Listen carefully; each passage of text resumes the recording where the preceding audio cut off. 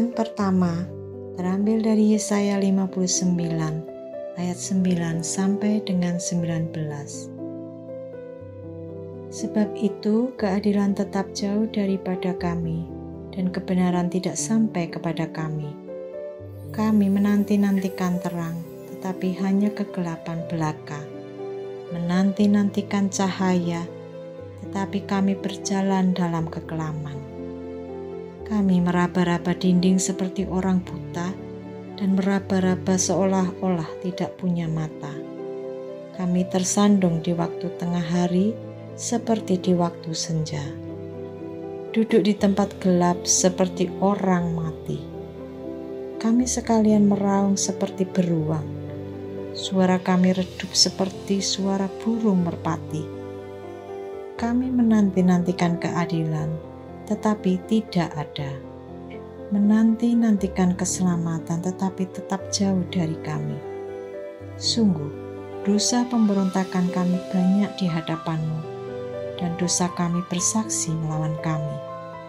Sungguh, kami menyadari pemberontakan kami, dan kami mengenal kejahatan kami.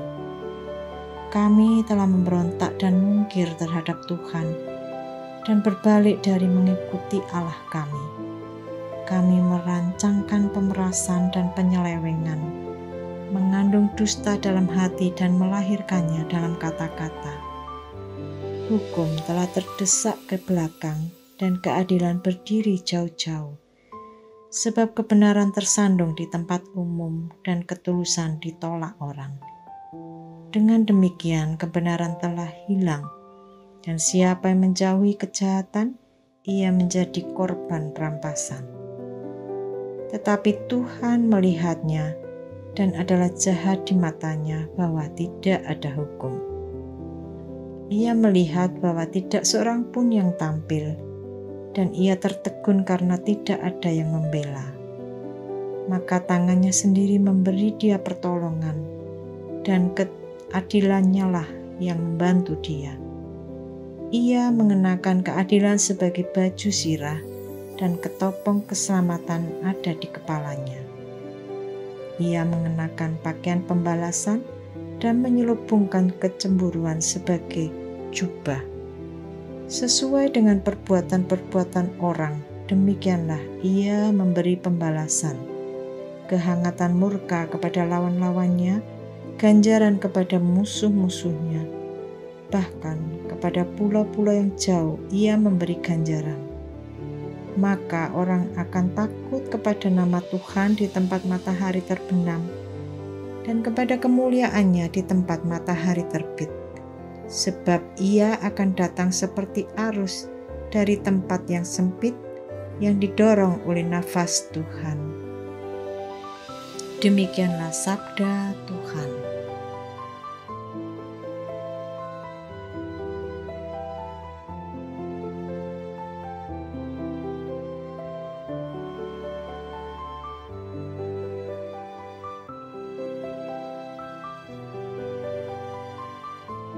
Bacaan kedua diambil dari kisah para rasul 9 ayat 1 sampai dengan 20. Saulus bertobat. Sementara itu, berkobar-kobar hati Paulus untuk mengancam dan membunuh murid-murid Tuhan. Ia menghadap imam besar dan meminta surat kuasa daripadanya untuk dibawa kepada majelis-majelis Yahudi di Damsyik, supaya jika ia menemukan laki-laki atau perempuan yang mengikuti jalan Tuhan, ia menangkap mereka dan membawa mereka ke Yerusalem. Dalam perjalanannya ke Damsyik, ketika ia sudah dekat kota itu, tiba-tiba cahaya memancar dari langit mengelilingi dia. Ia ribah ke tanah dan kedengarannya lah olehnya suatu suara yang berkata kepadanya, Saulus, Saulus, mengapa engkau menganiaya aku? Jawab Saulus, Siapakah engkau, Tuhan? Katanya, Akulah Yesus yang kamu aniaya itu. Tetapi bangunlah dan pergilah ke dalam kota, di sana akan dikatakan kepadamu apa yang harus kau perbuat. Maka termangu-mangulah teman-temannya seperjalanan, karena mereka memang mendengar suara itu, tetapi tidak melihat seorang juga pun. Saulus bangun dan berdiri, lalu membuka matanya, tetapi ia tidak dapat melihat apa-apa. Mereka harus menuntun dia masuk ke Damsyik. Tiga hari lamanya ia tidak dapat melihat, dan tiga hari lamanya ia tidak dapat makan dan minum.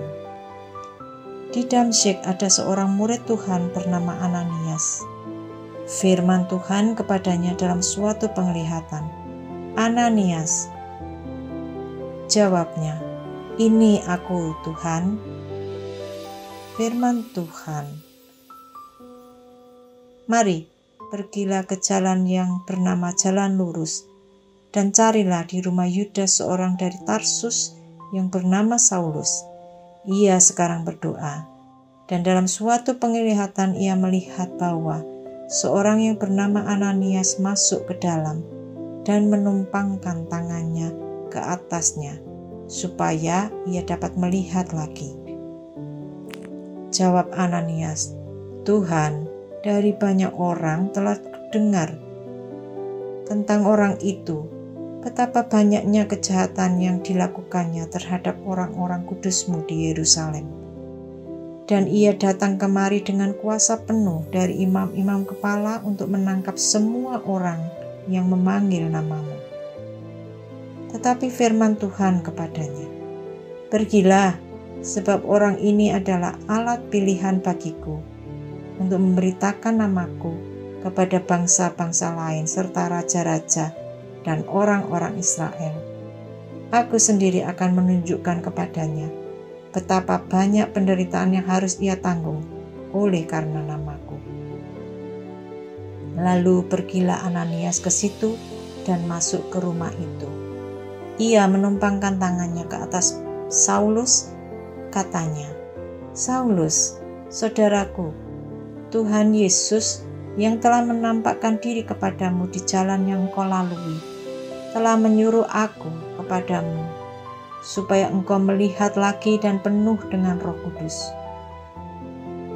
Dan seketika itu juga seolah-olah selaput gugur dari matanya, sehingga ia dapat melihat lagi. Ia bangun lalu dibaptis dan setelah ia makan pulihlah kekuatannya. Saulus tinggal beberapa hari bersama-sama dengan murid-murid di Damsyik. Ketika itu juga ia memberitakan Yesus di rumah-rumah ibadat dan mengatakan bahwa Yesus adalah anak Allah.